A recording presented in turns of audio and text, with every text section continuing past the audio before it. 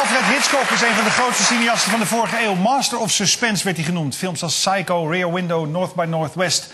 Kunsthistoricus Steven Jacobs verdiepte zich in de architectuur, decors en het gebruik van details in de films van Hitchcock. Schreef er een boek over en stelde er een tentoonstelling over samen. Dit is het prachtige boek The Wrong House. Helemaal in het Engels meteen voor de internationale markt, Steven.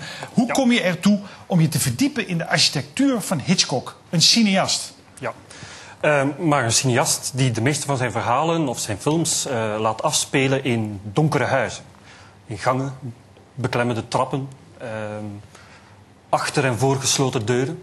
En dus eh, het is mij meteen altijd opgevallen dat Hitchcock een ongelooflijke aandacht, bijna maniacale aandacht heeft voor allerhande architecturale details. Of Bleek dat ook te kloppen? ja, eh, dus archiefonderzoek dat ik heb verricht wijst dat zeer nadrukkelijk uit. Bijvoorbeeld, je kan in de archieven van verschillende filmstudios bijvoorbeeld eh, memo's vinden, briefwisselingen tussen Hitchcock en zijn art directors, waarin hij werkelijk zich buigt over het allerkleinste detail. Hè. De vormgeving van een tafel moet in een andere stijl zijn dan de stoelen, want die tafel zou bijvoorbeeld eh, uit een ander huis kunnen komen. Dit soort dingen, welk soort foto's, welk soort van schilderijen aan de wanden eh, moeten hangen. Dus eh, dat verschilt natuurlijk van film tot film. Maar werkelijk, er is één rode draad. Dat is die blijvende aandacht, veel meer dan andere filmregisseurs, voor de architecturale, huiselijke vormgeving van de plaatsen waar die verhalen zich eh, afspelen. En dat heeft waarschijnlijk te maken met het feit dat Hitchcock zelf zijn filmcarrière is begonnen als een art director. Hè. Dus de... Als iemand die het aankleden als Ja. het ware.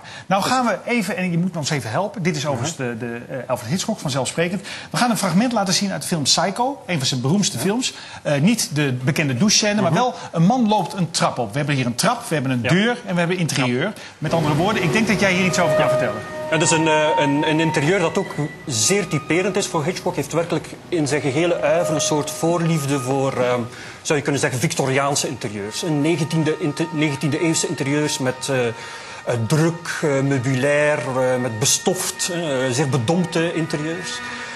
Architecturale details spelen een heel belangrijke rol. Schaduw, architecturaal, werkelijk ook bijna een soort van architecturale organisatie van licht en schaduw. De trap, eh, de plaats van onheil.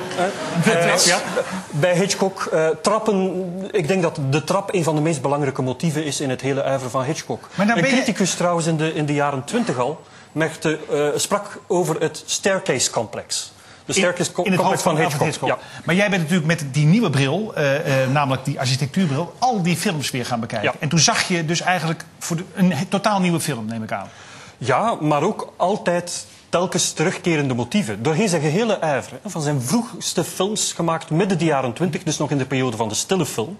Eh, films die bijvoorbeeld heel sterk beïnvloed zijn door het Duits expressionisme. Tot eh, zijn, zijn Hollywoodfilms. komen vaak dezelfde thema's en dezelfde motieven terug. Maar er is al een hele bibliotheek volgeschreven over Alfred Hitchcock. Ja. Hij is zeer eh, eh, gewaardeerd door heel veel collega's. Dit boek voegt echt iets toe. Dit ben je nog niet tegengekomen in de studies tot zover. Nee, er zijn een aantal artikels geschreven, bijvoorbeeld over de, de manier waarop Hitchcock een vierde wand, hè, een soort afwezige wand in zijn theatrale ruimte construeert. Dus eerder eh, filmtheoretische beschouwingen, maar echt een soort interpretatie van het werk van Hitchcock in een soort van architectuur-historisch perspectief, zou je kunnen zeggen, is bij mijn weten nog nooit geschreven. Neem ons nog even mee naar die fantastische openingsscène van Rear Window. Waarin Ja. we die binnenplaats afzoeken, Juist. althans de camera. Ja. En op een gegeven moment Ja. komen, we, komen we terecht bij de... Misschien naast de, naast de trap is het, is het venster, het raam, een, een typisch eh, Hitchcock-motief. hè. Eh, ramen die natuurlijk perfect gebruikt worden of perfect gecombineerd worden door Hitchcock om zijn, een van zijn geliefkoosde thema's aan de orde te stellen, het voyeurisme.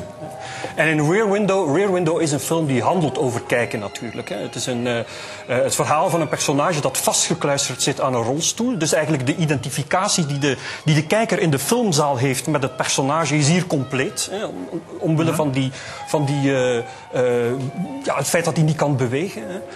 En het personage kijkt door het venster, dat je een soort metafoor kunt noemen van het filmscherm. En ziet aan de overkant van de, binnenko- van de binnenhof allemaal vensters. Allemaal filmscherms zou je kunnen zeggen. Het is trouwens opvallend. Het is de eerste eh, eh, widescreen film die Hitchcock heeft gemaakt. Dat de proporties van de ramen exact dezelfde zijn als de proporties van Zou die dat nou eh, de allemaal... Is dit wijsheid achteraf? Want soms heeft de wetenschap een beetje wijsheid achteraf. Ja. Of zeg je nee, dit is allemaal tot op de centimeter door de meester zelf bedacht?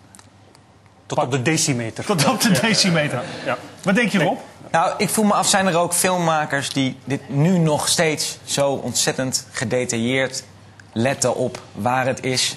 Ehm, zijn er moderne Hitchcocks, om maar zo te zeggen? Ja, je hebt dat zeker bij cineasten die uh, zich als auteurs profileren en ook zeer sterk met, met de ruimte bezig zijn. Ik denk aan iemand als David Lynch uh, uh, bijvoorbeeld. Maar Hitchcock is wel een uitzondering. In die zin, ook in, in dat klassieke uh, Hollywood-systeem, doordat Hitchcock natuurlijk een, een, een entertainer was die perfect paste in dat klassieke Hollywood-systeem, maar ook heel vroeg al in Amerika, midden de jaren 40 al, um, een sterke controle, een eigen controle had over de productie. En in tegenstelling tot andere regisseurs van meet af aan betrokken was bij het uh, uitschrijven van de scenario's, bij de, het ontwerp van de decors. Hij deed alles eigenlijk. Hij deed niet alles, hij deed het in samenwerking met, met, met, ja, met production designers. En maar het overal zijn uh, vinger in. Ja, absoluut. En dus dit, dit uh, blijkt uit, uit de archiefstukken ook, hè, ja.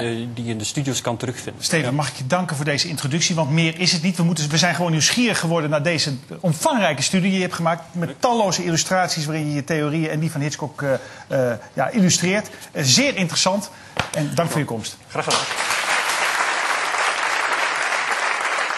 Het boek The Longhouse, The Architecture of Alfred Hitchcock, ligt vanaf morgen in de winkels. De gelijknamige tentoonstelling, die is er ook. Die wordt donderdag in Antwerpen geopend en duurt tot en met 16 december. Straks Mark